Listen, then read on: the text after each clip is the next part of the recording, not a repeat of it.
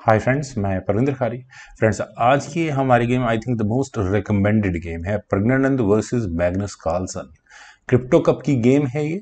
वैसे खेली गई थी चार या पाँच दिन के बाद, मैं वीडियो थोड़ा लेट बना रहा हूँ, लेकिन फिर भी गेम को शुरू करता हूँ। यहाँ प्रज्ञानंद ने डी के साथ शुरू किया। कार्लसन ने यहाँ खेला ई सिक्स देन हुआ c four bishop b four check bishop से चेक आई तो बिशप बीच में लगा। Bishop takes d two with check queen takes d two then हुआ f five f six from black then e three d six bishop आया d three square पर knight at g goes to e two then c five I think white is slightly better from here now यहाँ पर प्रज्ञानंद ने pawn exchange न करके अपने D pawn को आगे पुश कर दिया तो कार्लसन ने भी अपने ई पॉन को आगे पुश करके बिशप पर अटैक बनाया। बिशप गया सी टू स्क्वायर पर then knight at b goes to d two अगर आप यहाँ इस गेम में देखें तो ब्लैक का ये नाइट एक बहुत स्ट्रांग आउटपोस्ट उसके लिए यहाँ हो जाएगी और उसके बाद नाइट कहाँ कहाँ जा सकता है? नज़र आ रहा है।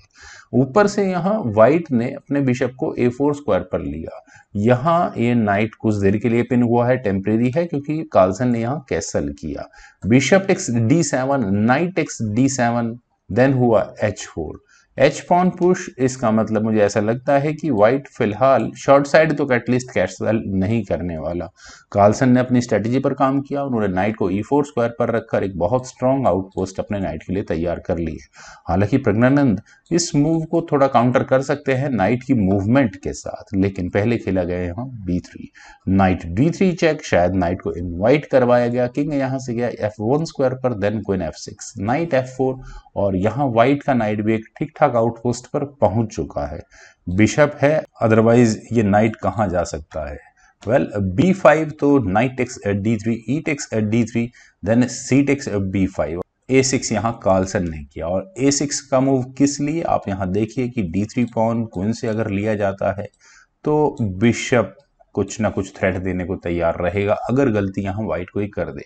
लेकिन फिर भी क्विंट एक्स डी थ्री शायद किया जा सकता था। एट एक्स बी फाइव अगर ब्लैक करता है तो ऑब्वियस है हाँ नाइट से इस पॉन को नहीं लिया जा सकता अदरवाइज़ प्रॉब्लम्स बढ़ जाएँगी। इजी लाइफ तो नहीं रहने वाली वहाँ से। रुक आया डी वन स्क्वायर पर। ये मुझे थोड़ा क्वेश्चनेबल लगा, लेकिन प्रज्ञानंद ने चलाया तो सही होगा। At x b five then knight x b five f four then e x f four और एग्जैक्टली क्विन से लिया जा सकता है, लिया जा सकता है, लेकिन फिर भी यहाँ ब्लैक के लिए चेसिंजन रिकमेंडेशन रुक को बी एट स्क्वायर पर ले जाकर यहाँ इस नाइट पर अटैक बनाने का है। यहाँ से क्या किया जा सकता है? बी पॉन पुश एक अच्छी ऑप्शन हो सकती है। पर जो भी है, गेम इक्वलाइजर की तरफ़ रहता। पर ब्लैक ने यहाँ अपने बिशप को जी फोर स्क्वायर पर प्लेस किया और उन्होंने यहाँ इस रुख पर अटैक बनाया। तो प्रज्ञानंद ने एफ़ पॉन को आगे पुश करके बिशप को हटाया। बिशप गया यहाँ से एफ़ फाइव स्क्वायर पर देन किंग एफ़ टू तो rook at f goes to e eight और अब ये रुक क्या करने वाला है? ये रुक देने वाला है check forking king and queen तो नाइट सी थ्री यहाँ वाइट ने किया। देन हुआ एच फाइव तो rook at d goes to e one rook exchange offer है एक्सेप्ट किया। रुक टेक्स ई वन और यहाँ हुआ rook takes e one rook takes e one होने के बाद हुआ queen takes h four check check आई क्विन गई जी वन स्क्वायर पर देन क्विन वापस एफ़ सिक्स स्क्वायर पर। नाइट बी फाइव और यहाँ से ये नाइट कहाँ जाएगा? कोई खास मुझे नज़र नहीं आ रहा है। वेल एच फोर यहाँ पहले ब्लैक ने किया। देन हुआ ए फोर नाइट सेफ़ हो चुका है। C four then b takes c four rook takes a four finally इस रुक की एंट्री हो गई ही गई है ब्लैक के इस अटैक में।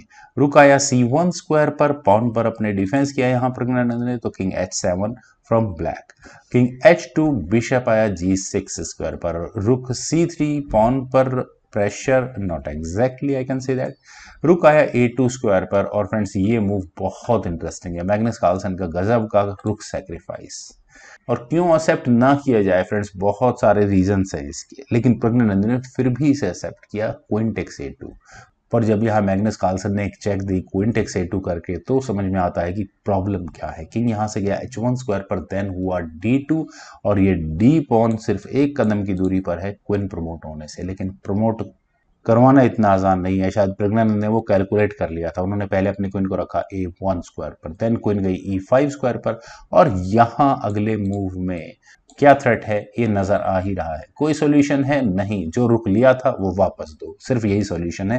प्रज्ञानंद ने यही काम किया। उन्होंने रुक कर रखा सी वन स्क्वायर पर।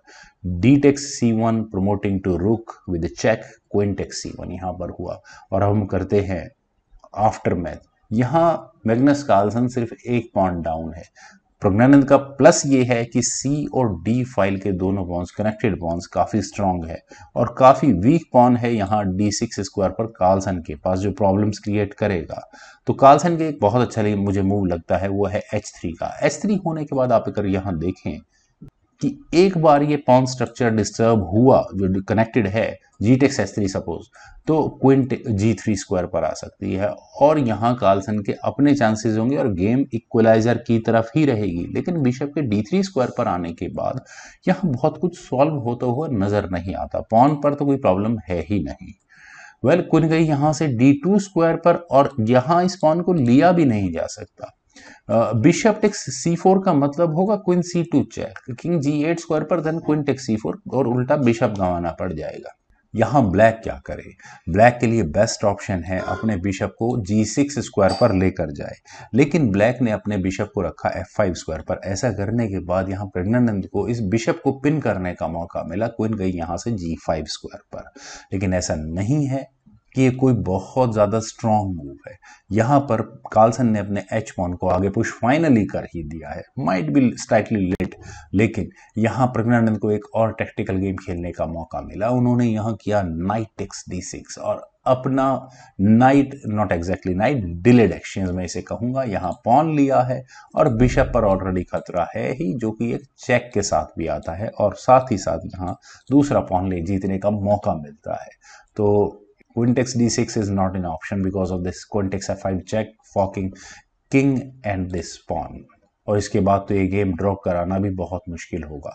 तो यहाँ पर कार्लसन ने पहले किया h takes g two check king आया जी वन स्क्वायर पर then queen e one check king takes g two then queen e two check king यहाँ से गया जी थ्री स्क्वायर पर then queen e five check king गया f two square पर then queen b two check repeated check से आखिर ये game कब तक खींचेगी?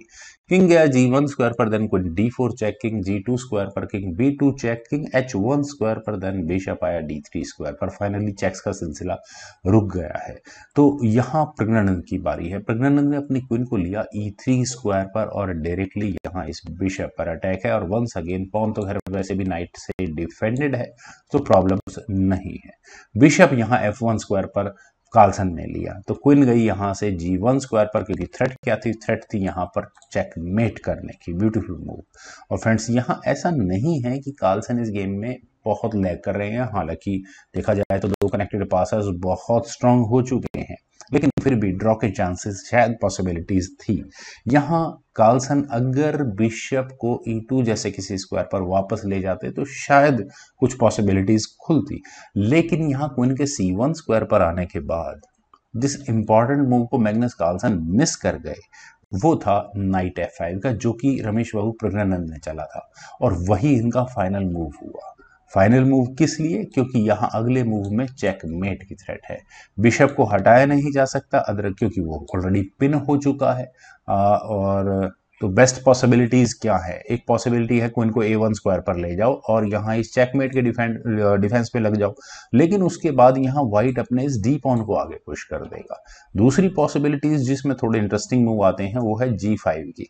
दोनों ही सूरतों में डी पॉन तो रुक ही नहीं सकता। फ्रेंड्स आई थिंक लगातार तीन मैचेस रमेश बाबू प्रज्ञान यहाँ मैग्नस कार्लसन को हरा चुके हैं। और शायद यही वजह रही इतनी ज़्यादा इस गेम की डिमांड की। तो फ्रेंड्स मुझे उम्मीद है आप सभी लोगों को ये गेम ज़रूर पसंद आई होगी। तो आप लोग इस वीडियो को लाइक करें शेयर करें और मेरे इस यूट्यूब चैनल चेस गुरु को प्लीज़ सब्सक्राइब ज़रूर करें। आपके कमेंट्स का मुझे बेहद इंतज़ार रहेगा। Thank you for watching and bye for now